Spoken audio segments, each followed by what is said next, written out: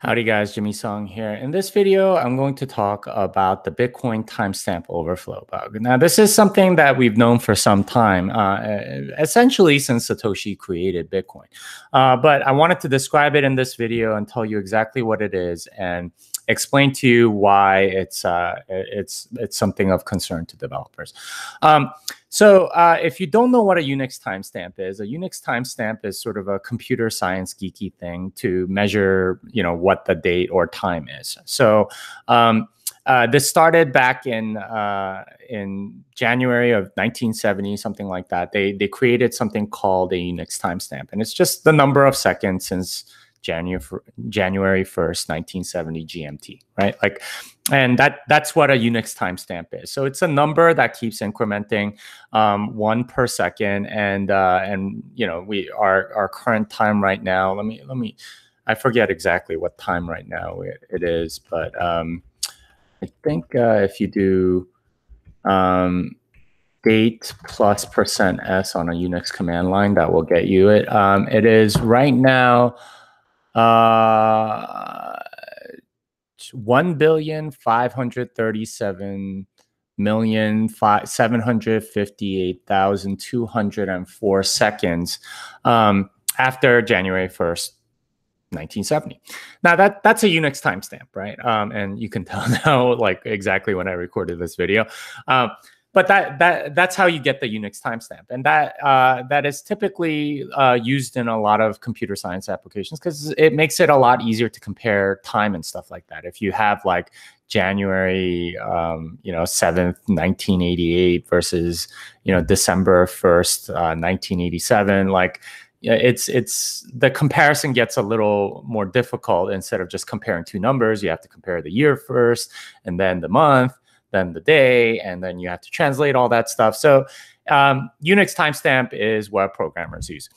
Anyway, uh, the Bitcoin block header has a timestamp field, and that timestamp field is is necessary because you need to recalculate uh, the difficulty adjustment every two weeks. Um, so if you think about it, the the new difficulty every two weeks is uh, is set so that uh, you know, blocks are found at about 10 minutes, uh, once every 10 minutes based on the last two weeks of blocks or last 2016 blocks.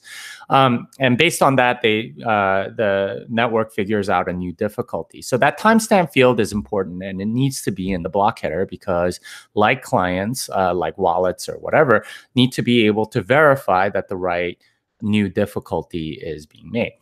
Anyway, um, one of one of the mistakes that Satoshi made, honestly, is uh, uh, Satoshi made the timestamp field only four bytes. Now, four bytes is 32 bits, and 32 bits can store a number from zero to two to the 32nd minus one. Um, and that's because uh, there's 32 or eight bytes per or eight bits per byte, and there's four bytes, so that's 32 bits, and each bit can be zero or one. So there are you know, two to the 32nd possible states and you start at zero. So it's uh, two to the 32nd minus one. So if you calculate out two to the 32nd minus one uh, seconds after January 1st, 1970, you get to sometime in February 2106.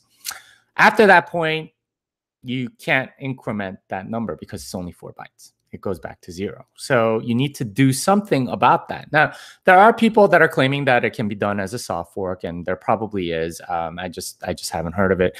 Um, and you know, you might you might uh, like sort of like freeze the time, for example, and just say uh, like have a soft fork that says you you have to have this as the particular timestamp, and then have some sort of like new difficulty. Um, uh, part in like the Coinbase or something like that. And I, I don't know. There, there, there are various ways to make this a soft fork, but they're they're a little bit ugly. Uh, you could also do it as a hard fork, um, but you know it, it, doesn't need to be executed until 2106. Um, there's this. Uh, there's also some uh, some people that mistakenly believe it is 2038 that this bug goes into play, or about 20 years from now.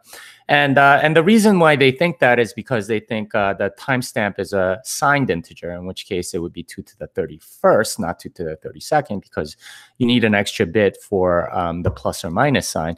It's not signed. It's uh, it's uh, signed meaning it could be negative. It's uh, it's always positive, so it's an unsigned integer, and that means that it's two to the 32nd. If if it's two to the 31st, uh, you you you have about 2 billion seconds, which ends up being about uh, 2038. So that's the difference between, um, you know, uh, you know, 20, 2 to the 31st and 2 to the 32nd or signed versus unsigned. So it's not 2038, it's 2106.